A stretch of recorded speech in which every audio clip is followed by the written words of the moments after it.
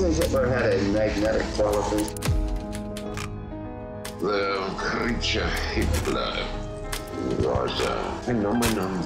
Hitler, The Lost Tapes of the Third Reich, Thursday nights at 9, new to National Geographic.